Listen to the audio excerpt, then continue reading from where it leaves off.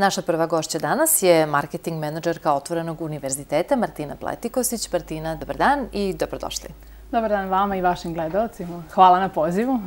E, evo Martina, e, na samom početku, naravno, naša tema razgovora biće e, bioskop Eurocinema, odnosno aktualni repertoar. Ono što moram da vas pitam jeste već neko vreme prikazuje se dugo očekivani drugi nastavak filma Montevideo pod nazivom Vidimo se, je li tako? Kažite mi koliko je bilo do sada organizovanih projekcija i prosto kakva je zainteresovanost naših sugrađana za ovaj film? E, jeste, znači e, već tri nedelje na našem repertoaru u bioskopu Eurocinema e, prikazujemo film Monte Video Vidimo se. To je zapravo drugi film iz tog multimedijalnog projekta Monte Video. Svi znamo da je bio prvi film, posle toga serija i sada je ovaj, u naše bioskopu konačno stigao 16. januara i Monte Video Vidimo se. Naravno, mi već tri nedelje prikazujemo film i zaista je velika zainteresovanost što smo i očekivali jer znamo i zbog prvog filma gde je također bila ovaj, svaka projekcija popunjena do posljednjeg mesta.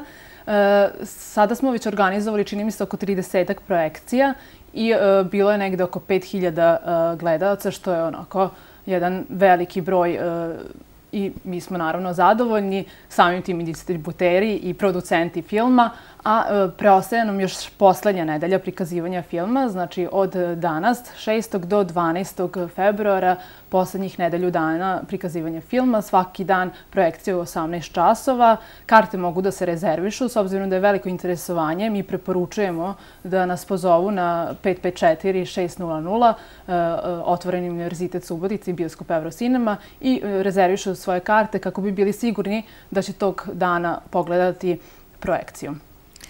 Koji su još filmovi nalaze na repertoaru? E, od danas, e, od danas kreće, e, to jest već je bio prikazan u 11 časova film za najmlađe, ali s obzirom da nije da nije sinhronizovan, mogu svi da ga gledaju, jel da? U pitanju je novi dogometražni film i samim tim i prvi Lego film. Zove se Lego film 3D. E, tako da to je 3D projekcija e, u našem bioskopu koju, koju zaista sada e, svi mališani su dugo očekivali s obzirom da su videli plakat e, pre ulaska u bioskop e, i, i znali su da sledi Lego. E, film, tako da, da su nas mnogi pitali kada će, kada će u bioskop ovaj, da stigne film i od danas do, do 12. februara prikazivaće se u terminu od 11 časova, a nakon toga još nedelju dana i tada će termin biti u 17 časova, tako da verujem da, da će e, svi pronaći jel, da vreme kada će moći da ga pogledaju. E, veoma interesantan film i uzbudljiv, dosta akcije, mnogo boja, mnoštvo, e, mnoštvo figurica, čini mi se 138 Lego figurica je korišćeno u, u samom filmu, a po nekom podatku oko 4 miliona kockica je korišćeno za potrebe snimanja filma, a kada bi mi želili jel, da, da, da, vidi, da stvorimo sve to, trebalo bi nam 15 miliona kockica. Tako da, veoma uzbuljiv, donosi neke nove ideje. E, sama radnja e, smeštena je znači, u tom Lego svetu, e, gde e, oni sa jednom sasvim E, običnom, gde oni e, pomisle da je jedna sasvim obična Lego figurica e, je spasitelj i junak sveta i onda je da tu se zaplet se dešava i radnja postaje sve uzbudljivija i uzbudljivija. Tako da zaista preporučujemo ne samo najmlađim e, našim posetiocima, nego i odraslima, pošto verujem da ima mnogih koji e, će dobiti inspiraciju i ideju, ako su ljubitelji Lego kockica, upravo da stvore nešto novo. Tako da e, preporučujemo Lego film 3D, on znači svakog dana u 11 časova do 12. februara.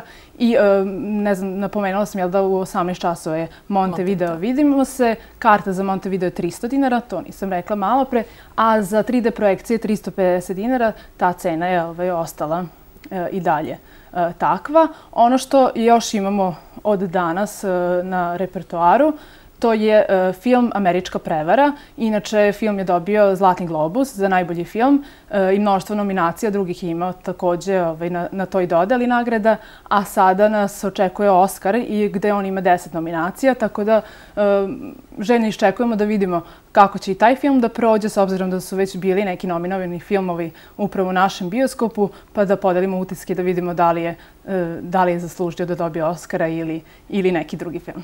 Da li je ovaj e, e, film iz e, evropske produkcije ili se radi o američkom ostvarenju? Ne, sada trenutno da je, mhm. da je sve američko na repertoaru, ali vraćamo se mi i našoj evropskoj produkciji, samo prosto toliko ima vrednih filmova upravo iz, iz te hollywoodske produkcije, tako da, da ova nedelja, da kažem, ovaj, u, u tom svetlu, jedino je da domaći film koja je, koja je potpuno srpska produkcija, Montevideo vidimo se, tako da ovaj, opet neka mešavina uh -huh. i Evrope i, i i Amerike. A do juče na repertoaru je tako bio i film e, europske produkcije koji je dobio Oscara, zapravo e, e, film tog reditelja prošli je dobio Oscara za najbolji strani film. U pitanju je film Prošlost koji je dobio nagradu u Kanu prošle godine za najbolju žensku ulogu. Da, da, da. I interesantno za taj film i uopšte za, za glumicu, francusku glumicu koja je, koja je bila predsjednica žirija ovog festi,